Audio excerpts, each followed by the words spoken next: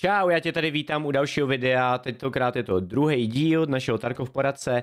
Dneska si ukážeme, jak půjdeme do raidu, co tam máte víceméně hledat a tak dále.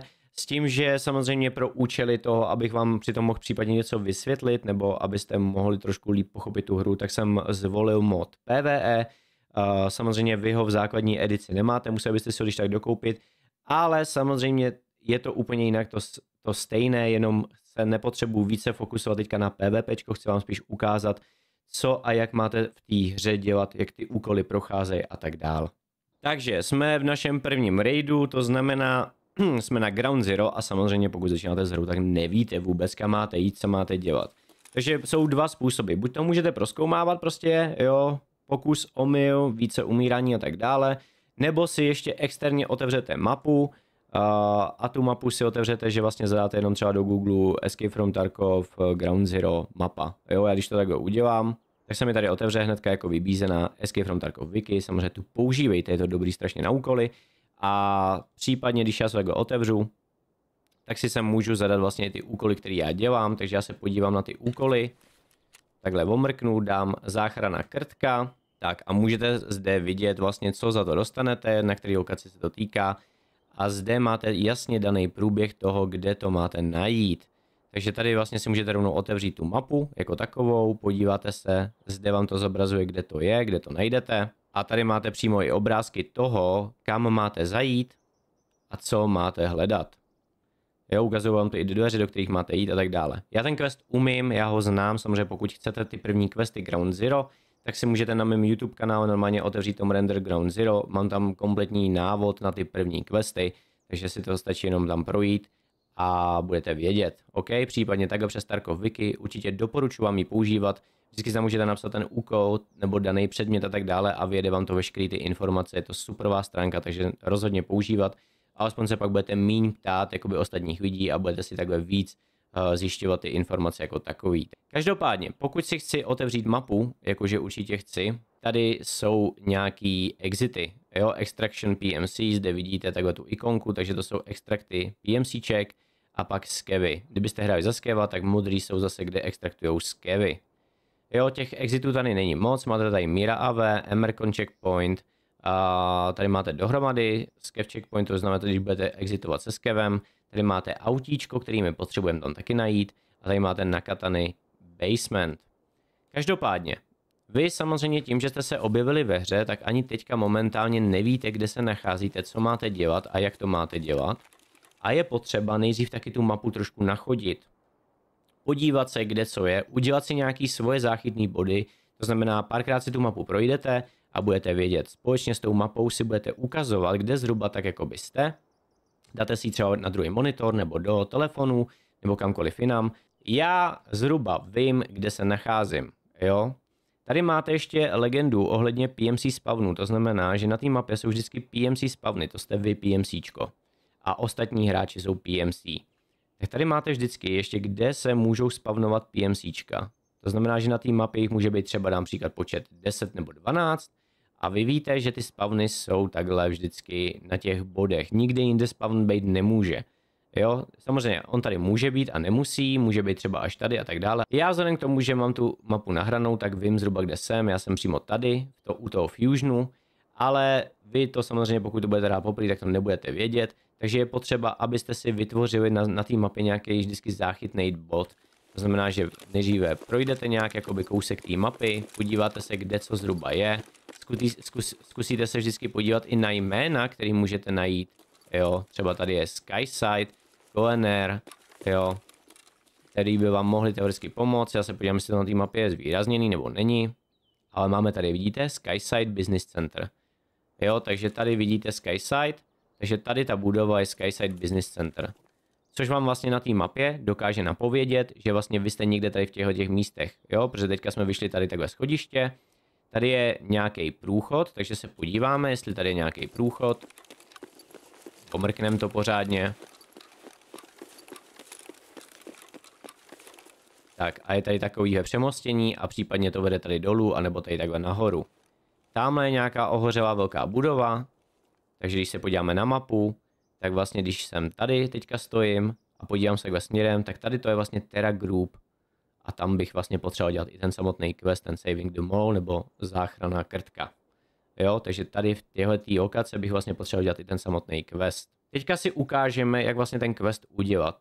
Jo, to znamená, my půjdeme přesně podle tohohle questíčku, takže tady vidíme tu budovu, uh, musíme projít tady kolem autíčka, pak nás to vede takhle, takhle, takhle, takže podle obrázku vy dokážete vydedukovat kudy a kam. Samozřejmě není úplně asi úplně ideální jít přes open. Tak, tady nade mnou něco slyším, můžou to být buď skevy nebo ne. Když máte dva, dvakrát očko, tak se vám, hele už tady něco chodí, skevy. Uh, tak se vám otevře takové jakoby místo, kde máte exitovat. Jo, takže vlastně tady máte východ 1, 2, 3, 4. Některé exity jsou vlastně, že buď tam musí třeba svítit zelená fléra, nebo vy musíte něco vypustit, hele, skvělý před náma.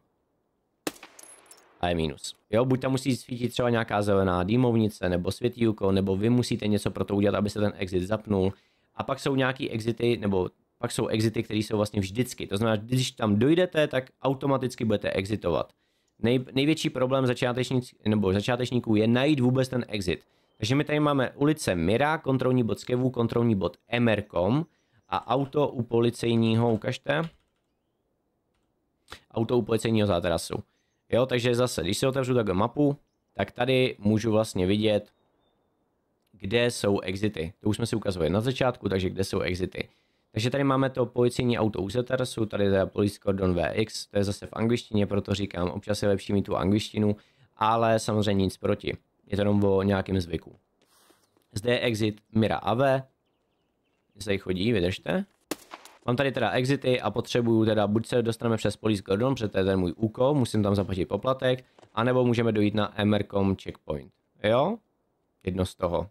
Tenhle ten je vždycky, tenhle ten exit co se týče otevření, takže tam není nic potřeba dělat. Tak, po mně pálí, je to výborný. Tak, něco jsme tady pozabíjeli, pobili. Tak, podíváme se na Skevíka. Jo, když, když by to byl hráč, tak tady v tomto místě bude mít vlastně doktegu stříbrnou nebo zlatou nebo modrou, záží jakou on má edici. A podle toho vlastně tu poznáme, že to je vlastně hráč, protože občas se můžou oblíkat i jako skevy. Tak. Teďka si názorně ukážeme, já jsem schválně se nechal na YouTube, jo. Teďka si schválně ukážeme názorně, jak vlastně se vyhýluju v tom raidu. Nemám žádný krvácení, což je dobrý, on mi jenom urval ruku, takže já tady se podívám, tak tady mám černou ruku, levá paže a já, když nemám žádný bleeding, to znamená nemusím nic zastavovat, což je dobré. Vždycky, když máte bleeding, tak je potřeba jako první zastavit bleeding, ať je jakýkoliv. Ať je to prostě slabý, anebo heavy, tak musíte ho zastavit jo, do té doby nemá používat cenu jakoby šítí. Jo, teďka jak mám vlastně tu paži v háji, tak vidíte, jak se mi klepe i zbraň. Tady furt bude někdo teďka chodit, když vám potřebuji něco ukazovat. Třeba do plechovek, zabili jsme pět skevů, dobrý. Takže rovnou jsme si splnili i questík. teďka, když jsem v nějakým jakoby safe spotu, mám nějaký čas na healing, tak vlastně stačí buď to takhle přetáhnout na tu levou paži, nebo, nebo dvakrát, když kliknete, tak vám to automaticky začne uh, takhle šít končetinu po končetině. Pokud ji budete mít víc, tak ono si to vybere, kterou si to prostě bere jako uh, za vhodný, jo, co potřebujete jako co nejdřív. Tak, tím, že jsme ji zašili, tak jsme na 1 z 21, takže je potřeba to ještě dohýlovat, takže to dohýlujeme, aby jsme byli aspoň v zelených číslech. Tady můžete vidět, že vlastně pravá paže má ze 60 a tady to má už jenom 21. Jo, takže používat to můžete, ale daleko mín tahle ta ruka vydrží, takže můžete o ní daleko častěji přijít. Tak. Máme dalšího.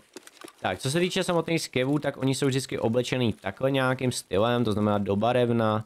Jo, mají většinou, uh, většinou prostě takové zajímavé oblečky, modrý, rifle a tak dále. Zatímco, jako, zatímco hráče většinou poznáte podle toho, že mají buď takhle nějaký armádní věci, anebo jsou to fakt specifické barvy, které jsou jakoby prodeji vlastně u Ragmana.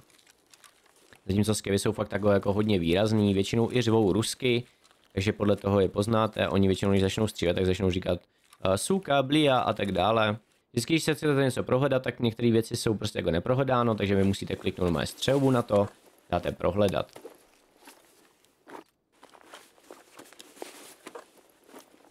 Tak, mrknete si něco nechcete, snickersku si můžete vzít, aspoň to je jídlo, že jo, takže pohoda.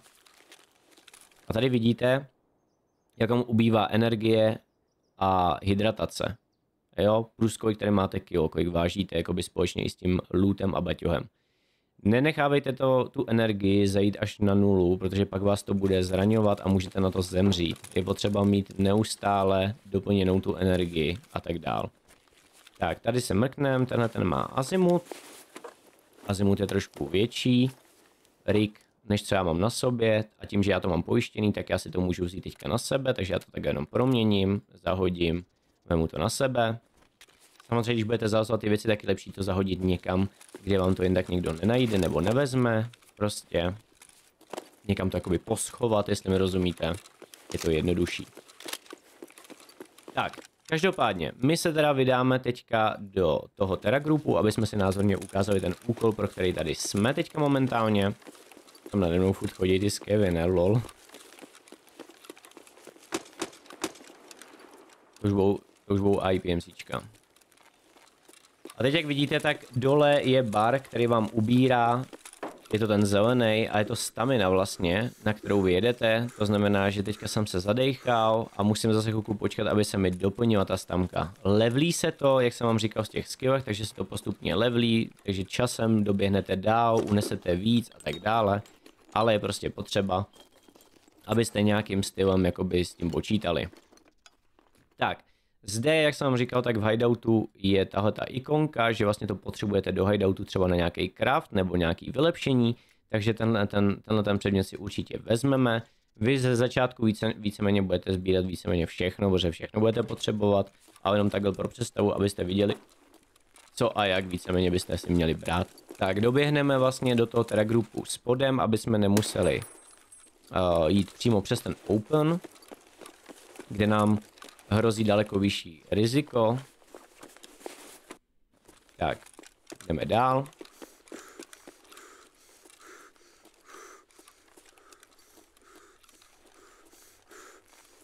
Tak můžete postupně zkoumávat, některé předměty můžou ležet jen tak na zemi, některé jsou prostě přímo v bednách a tak dále.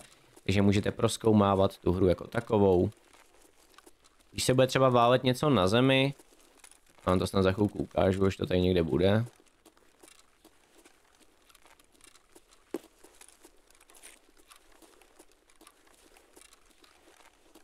Jako na podvodu tady samozřejmě nic není. A? Někoho jsme zabili, to dobré. Tak, když se vám bude válet něco třeba na zemi, nebo někde, tak vy, když budete u toho na blízko, já vám to ukážu jo, názorně, jo, dám příklad, třeba tady to bude takhle schovaný, žárovka. Když tomu budete jakoby na blízko, tak se od, uh, rozsvítí taková tečka bílá, jak můžete vidět, jsem kolem toho. A to vám signalizuje, že tady něco je, když tomu najdete pak blíž, tak pak už vám to napíše, co to je a že to můžete vzít. Jo, tak jenom tak, abyste věděli. Tak, zabili jsme dalšího. Téměř prázdný, takže přehodíme zásobník. Zásobník přehazujete normálně Rkem. Když dvakrát rychle zmášnete R, tak ten zásobník vyhodíte rovnou na zem. Já vám to ukážu názorně. Je na zemi. A když jenom jednoduše R, tak vám to jenom prohodí zásobník a dá vám to zpátky do rigu. Je potřeba, abyste v tom rigu vždycky měli jedno, jeden slot navíc, aby vám to ten zásobník mělo kam dát. Eh, do baťohu vám to nedá, prostě vám to zahodí automaticky na zem. To je. Mám strach.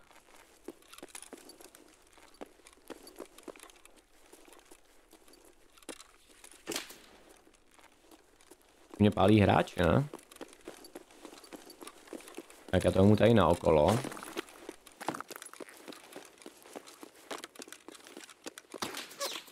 Aha. Dobré. Tak, mám heavy bleeding, takže potřebuji zastavit ten heavy bleeding. Tak, zastavili jsme. A mám červený, uh, červený podbříšek, takže ho dohýluju. Automaticky to healuje tu část, která je vlastně nejvíc červená. Tak proběhneme tudy.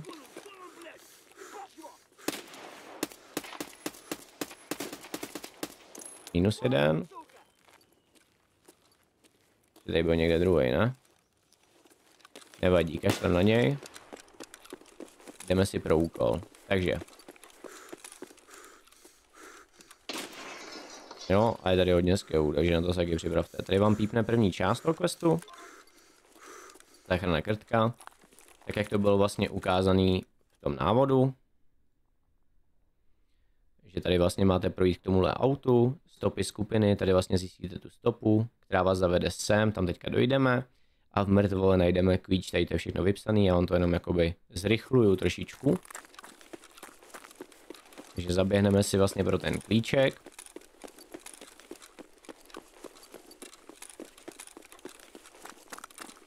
Tak, tady to, počkat, ještě moment. Tady to, jak se koukám doprava a doleva, tak dělám tím, že vlastně kliknu na prostřední tlačítko myši, na to kolečko, a jenom uh, nahnu vlastně myš doprava anebo doleva. Můžu i nahoru, můžu i trošku dolů, jo? Takhle to vlastně můžete dělat. To je dobrý, když vlastně jak přebíháte, tak se koukáte zleva doprava. Aniž byste se museli jakoby takhle jakoby otáčet, tak jenom nahnete tu hlavu. Tady nám to píplo, tady je mrtvola. V mrtvola najdeme klíček. Nenajdeme klíček. To je blbý.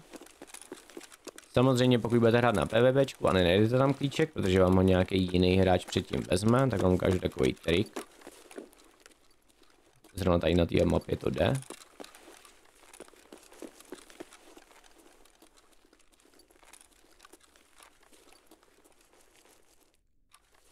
Tak, tady se potřebuji do těch dveří dostat. Nejde to, nemám klíč.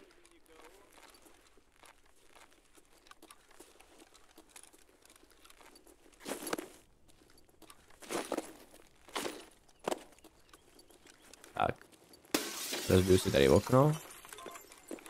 Tak, dostal jsem se sem. A tady vlastně byste měli najít někde hard disk. To mě střílí z dálky.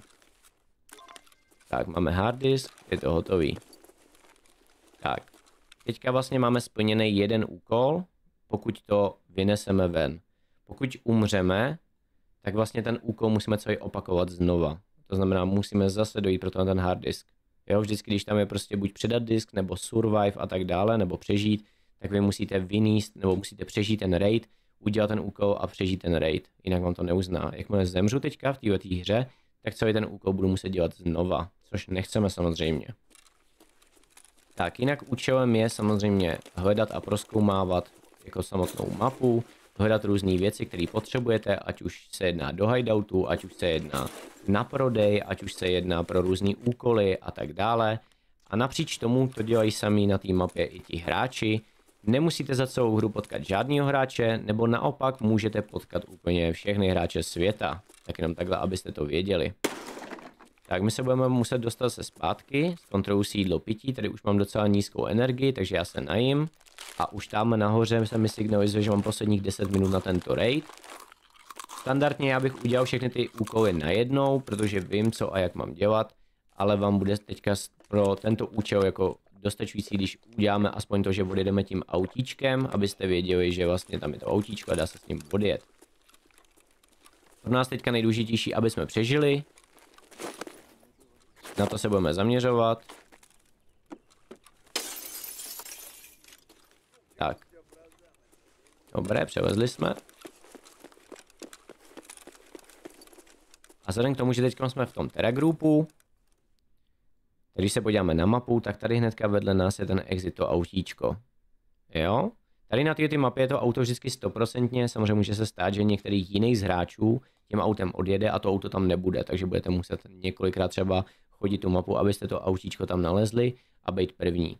Pokud to uděláte tak, že vlastně se spadnete třeba tady a běžíte rovnou na auto, tak taky na tohle bacha, protože můžete mít run true, to znamená, že jste jenom proběhli ten raid, vy musíte buď zabít dva skevy, anebo uh, musíte mít alespoň 7 minut nahráno ve hře. Jo, pokud budete alespoň 7 minut ve hře, tak nikdy nebudete mít run through, budete mít vždycky status, uh, že jste přežili.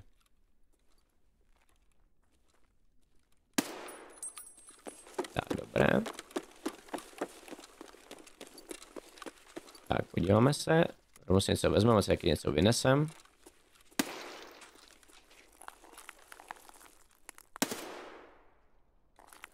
minus. A.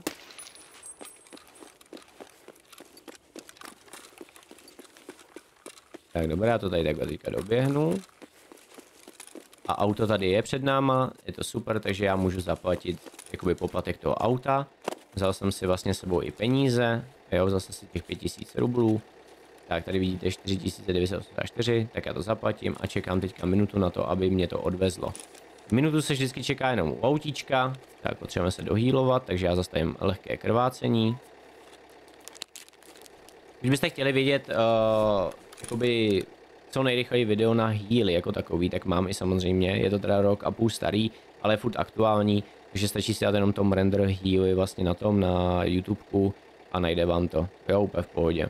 Je to vlastně i tak, že se to teďka signalizuje pro ostatní hráče, pokud zrovna se podívají jakoby na exity, že někdo chce odjet tím autem, takže vlastně ještě teoreticky můžou dostihnout a zabít. Tak splnili jsme vlastně náš první raid, takže máme tady status splnil, máme za to nějaký XP, máme tady dobu v raidu a jsme už rovnou třetí level, jak můžete vidět, takže dáme další, tady si můžete podívat na statistiku, kolik jste toho zabili, jo, na jakou vzdálenost, jakou zbraní a tak dále, dáme další. A zde zase máte další statistiky, které si můžete pročíst, pokud vás jakoby nějakým stylem zajímají. Dáte další, tady vidíte XP, který vlastně my dostáváme a teďka už jsme vlastně na čtvrtém levelu a jsme skoro na pátém, jo, takže dáme další. Tady vás se vás to zeptá, jestli chcete dohýlovat, mělo by to fungovat, že až do pěti úrovní nebo třetí raidů. Takže do pátý úrovně byste to měli mít zdarma, pak už to stojí nějaký peníze, nebo do 30 raidů, tady to máte takhle napsaný. Jo, pak už se budete buď healovat za svoje healy, anebo za peníze. To znamená, že vás to bude stát třeba ten poplatek za celkový vyhylování třeba 20 tisíc. Tak a teďka samozřejmě dodělali jsme nějaký questy, tak je potřeba taky odevzdat. Máme tady nějaký loot u sebe, takže ten si můžeme tady takhle nahodit vlastně do stežky, když podržím CTRL a klikám vlastně levým tlačítkem myši, tak vlastně se nám to vždycky jako hodí do stežky. Když zase to udělám obráceně, tak se, tak se mi to dá jakoby do toho, do, do rigu nebo kamkoliv, kde se to vejde. Jo, takže takhle to můžete taky využívat. To samé s oblečením, pokud uh, si to chci vzít na sebe, tak stačí podržet levý out a kliknout uh, levým tlačítkem myši a tak vás to nahodí, to samé i takhle a máte to na sobě. Jdeme dodělat úkoly, takže tady máte třeba fajfku u skýra, že jsme dodělali úkol vlastně odjetí, odjetí, odjetí autem, takže tady dáme vlastně dokončit, za to dostaneme nějaký XP, peníze a plus dostaneme sluchátka. Tak a pak je tady úkol, který my musíme odevzdat a ten by měl být někde u mechanika. A tady musíte předat disk, takže my jsme našli disk, tak ho předáme, dáme dokončit tím pádem je to hotový a otevře se nám další quest. Ten mi přijmem.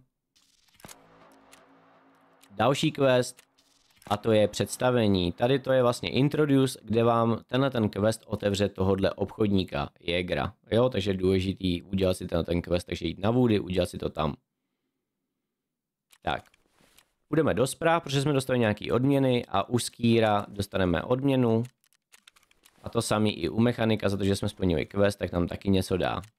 Tak, takhle jsme si vzali odměny a tohle to byl vlastně v podstatě náš první raid, jak jakoby se nějakým stylem orientovat, jak jakoby udělat úkol, jak to odezdat a tak dále. Tak, tohle to bylo v dnešním videu všechno, uvidíme se zase u dalšího videa a budeme si tam říkat další a super super věci. Takže já vám děkuji za to, že jste dokoukali až sem, doufám, že vám to pomohlo a čego belo.